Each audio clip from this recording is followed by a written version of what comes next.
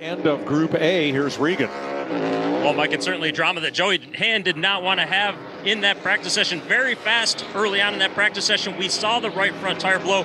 Was there any lockup prior to that that maybe caused it?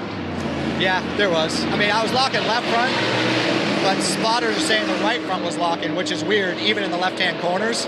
They just tell me that, so that's probably what happened. I didn't know it. There was a lot of smoke in the car, I'll tell you that, but it wasn't totally normal. So we got to figure out, you know, why we're locking brakes because uh, you know just doing it late in the turn it was just locking. So it's cool to be here though. Super happy to be in this ford pastor Rewards visa card and thankful to ford and ford performance and all the guys at rick ware racing and this is going to be fun. We get to do six races this year so i'm not a one and done all the road courses.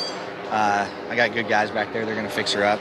Probably not going to qualify but sometimes it's cool to have a fast car from the back. Thanks joey